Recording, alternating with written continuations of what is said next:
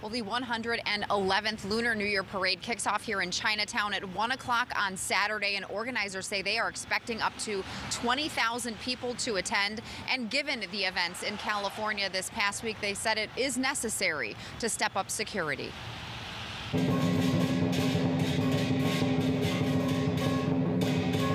A preview of the Lunar New Year celebrations at City Hall Wednesday. 11th Ward Alderwoman Nicole Lee and other city and county leaders speaking about this weekend's coming festivities. I'm looking forward to the Year of the Rabbit. It's a symbol of peace, introspection, and thoughtfulness. The parade is going to be massive this year. Uh, I understand that there are going to be something like 15 floats and marching bands. You're going to see all sorts of colors. Uh, you'll see lions and dragons. The parade comes after a tragic week in the Asian American community. I would like for us just to take a brief moment of silence um, to acknowledge those that were lost in the mass shootings over the weekend. Saturday night, a gunman killed 10 people at a Chinese dance hall during Lunar New Year celebrations in the predominantly Asian American community of Monterey Park, east of LA.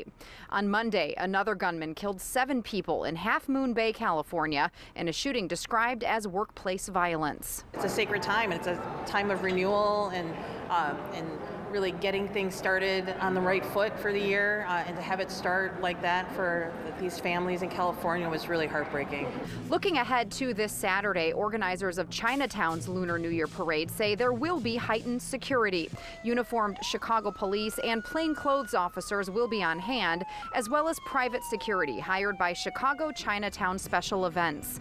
In Uptown, there will be a parade as well. Uptown United working closely with CPD's 20th District and 48th Ward Alderman Harry Osterman on security there, making sure those celebrating are safe as the community celebrates the Chinese New Year. We understand that there's really no reason to believe that there's going to be any uh, issues here in Chicago.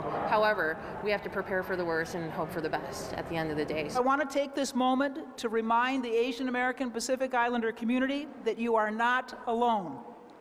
Out of these hardships and struggles, we emerge with resilience and determination to make a better future.